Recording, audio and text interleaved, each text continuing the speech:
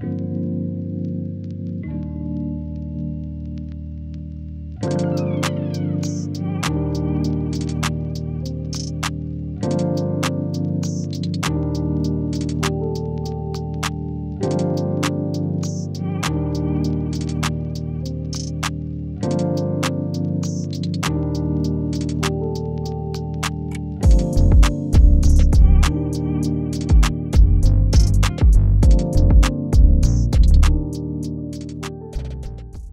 How's it going, guys? Welcome back to ESP Poker.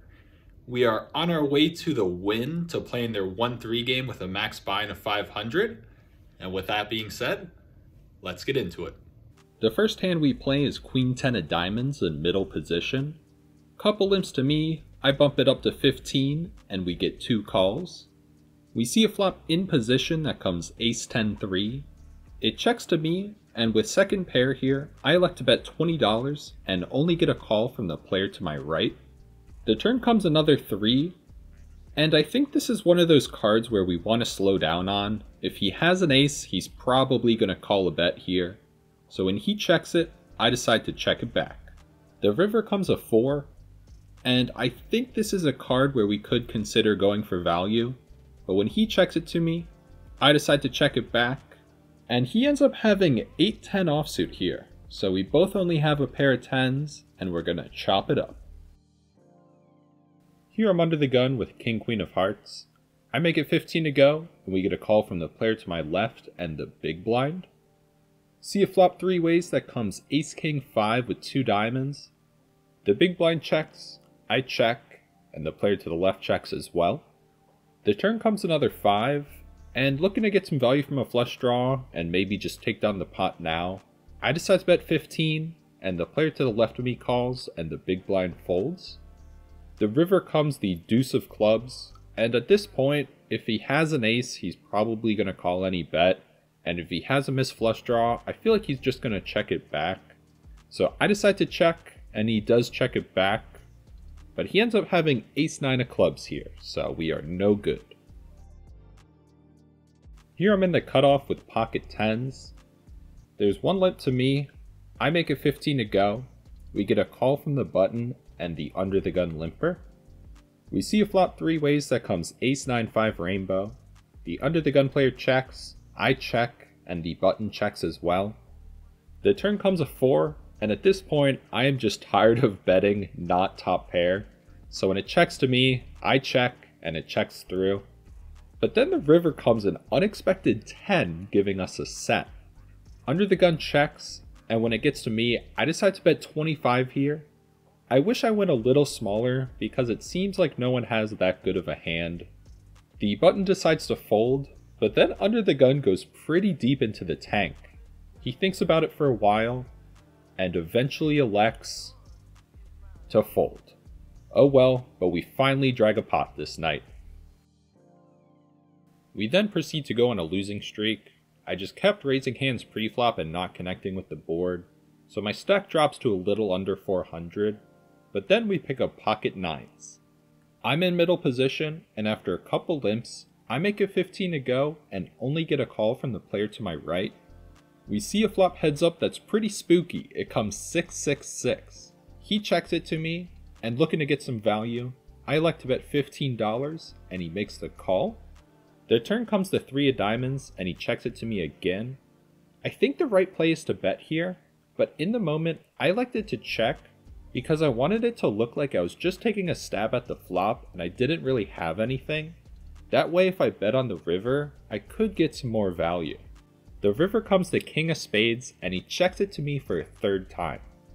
Now, based on the way I played this hand, I feel like I can still get value from an ace high type holding, so I elect to bet $20 and he makes the call. I show my hand and we're good.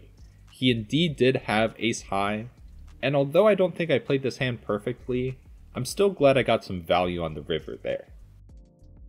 Not too long after, we pick up the exact same two nines under the gun. I make it 15 to go, and we get two calls. We see a beautiful flop three ways that comes 10-9-3 with two clubs, so we flop middle set. I decide to bet 15 here, and we get one call. The turn comes an ace, He checks it to me, and here's where I made a mistake. I decided to bet bigger than I should have. For some reason, I thought if he had the ace high flush draw, he's gonna call any bet. Which, although that could be true, that doesn't account for other draws he could have. So, in the moment, I decided to bet $50, and he decides to fold and flashes me Queen Jack offsuit for a straight draw. So, looking back, I would have liked to bet around $35 to $40, but still, we drag this pot. Here I'm on the button with King Queen offsuit, couple limps to me, I make it 15, and we end up getting three callers here. So we go four ways to a flop that comes ace 9 3 with two diamonds. It checks all the way to me, and I consider throwing out a bet here, but being so multi-way, I decide to just check. The turn brings us a little bit of help. It comes the 7 of diamonds, now we pick up the nut flush draw.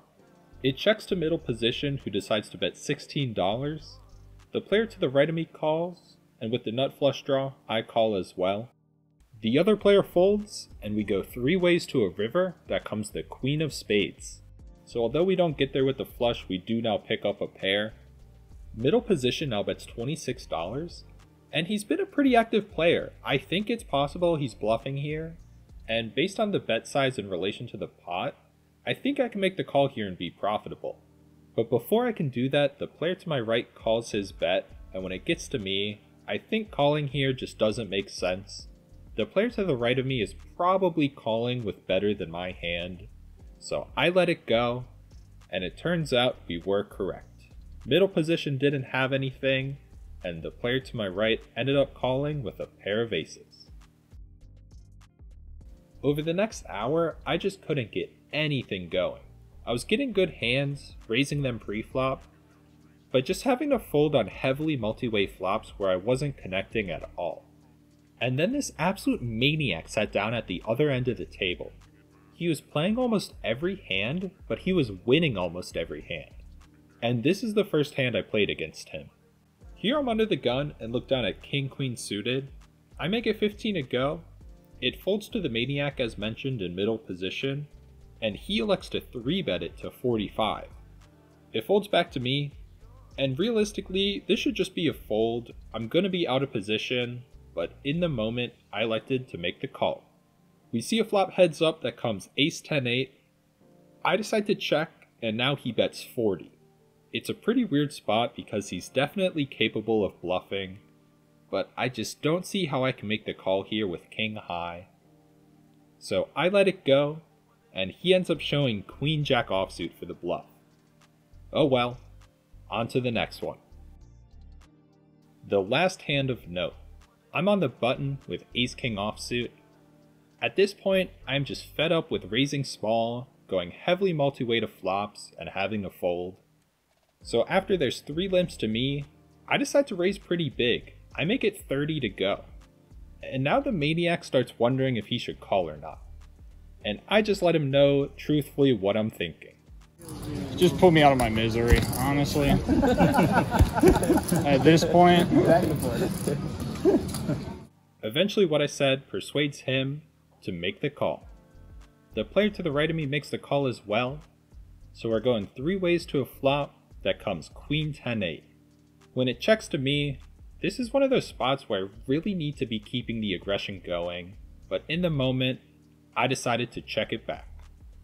The turn comes another 10, and now the maniac leads out for $25. The player to the right of me folds, and here with two overcards and a jack giving me a straight, I elect to make the call. We go heads up to a river that comes a 5, and now the maniac leads out for a $100. My head is in the blender trying to make a decision here. As we saw from the previous hand, he is more than capable of bluffing. But at the same time, he could be making this bet with like a rivered pair of fives that we lose to. After further consideration, I just don't think I'm good enough to make the call here with ace high, so I elect to make the fold. I decided to fold heads up to see if he would show his hand, and that he does when he shows me 7-4 offsuit. An absolute bluff, well played by him. At this point, I was just getting torched and not playing well, So I decided to rack up and hit the cage.